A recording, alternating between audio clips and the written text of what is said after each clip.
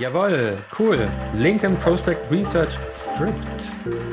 Stripped, ja, weil That's what LinkedIn Prospect Research Stripped is. sozusagen. Ihr seht das hier unten. Stripped, yes, ah, because you're essentially paying with ah. credit, so to speak. Deswegen nennt sich das Ganze Stripped. Ist das jetzt was internes, was wir äh, festgelegt haben, You can see down here how much we've got. That's why we call it einschränken im strip.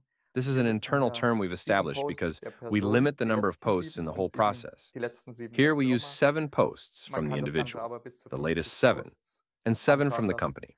Ja, je nachdem. wer However, you can analyze up to wo er sagt, 50 hey, da könnte ich posts, depending on who's interested or where someone says, hey. I might get that little extra percentage of better information. Anyone who wants to do this can, of course, go ahead. You also see So, schauen wir uns das personalize your. LinkedIn connection request.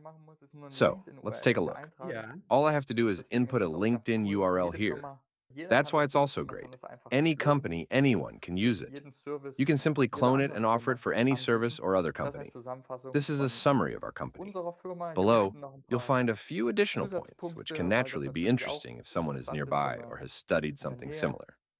These are, of course, always points of connection for the oder so. Da AI. ist natürlich auch immer What I'm doing now is letting it search. Und was ich jetzt mache, ist, ich lasse das Ganze suchen hier. Und dann Run schauen wir mal, cool.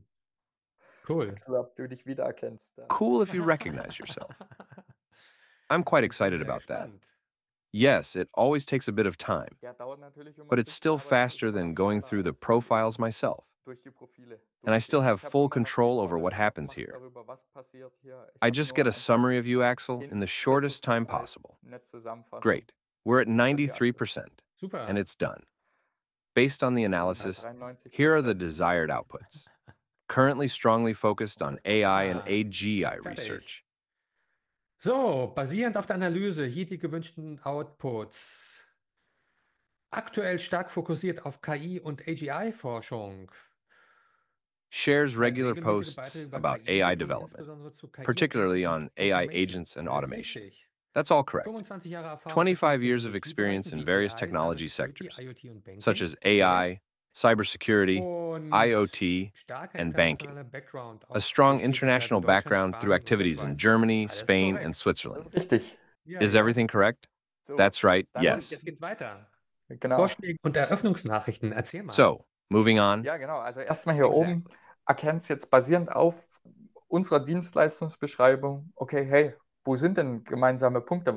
Ich meine, man schließt natürlich. Based on our service description, okay, hey, where are the commonalities? I mean, of course, you collaborate with people you have things in common with. That's why I think for us there's a lot of overlap.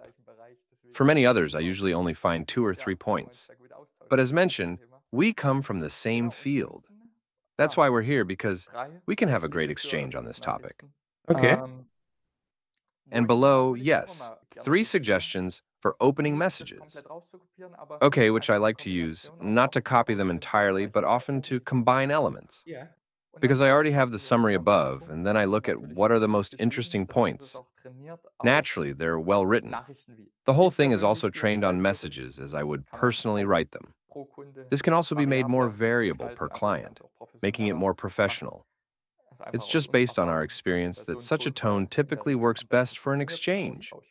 You see here, hello Axel, your focus on AI agents and their use in business has greatly impressed me. It often says, it has greatly impressed me. I usually come up with something more compelling. I'd be interested in how you currently use AI agents in your projects at QuantumX Solutions. The structure is always such that the opening message refers to the profile, and the next step is a question. I don't need to pitch you a product in a request because I think that's the mistake most salespeople make. Pitching their product right away without even knowing the need on the other side. Hence the strategy, which we also teach in various sales trainings. As mentioned, this is moving a bit away from the AI topic. But yes, having a question. Simply put, what I've noticed is that most people start these interactions initially with the aim of making a sale.